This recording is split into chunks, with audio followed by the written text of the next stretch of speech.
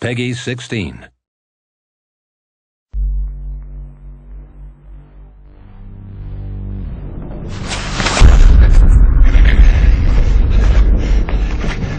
آماده ای بجنب Shame.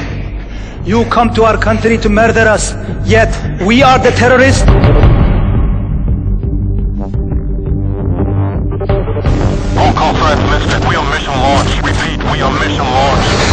18 hours ago, I get a call from Homeland Security saying there's a Marine in detention I need to talk to. Gentlemen, as you know, we're dealing with insurgents crossing over from Iran. You want us to believe that there's a PLR threat and Solomon's at the head? You're the quick reaction force, gentlemen. We're trusting you to handle this. The nuke is still out there. Can't just walk away from the threat. Let's go find our Marines. Get down on the ground!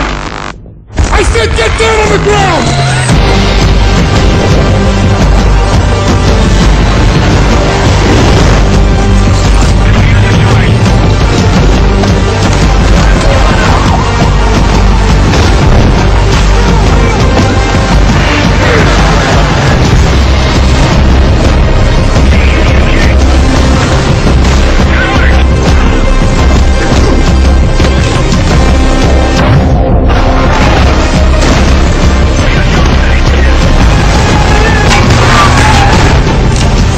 Not a trial. You are guilty.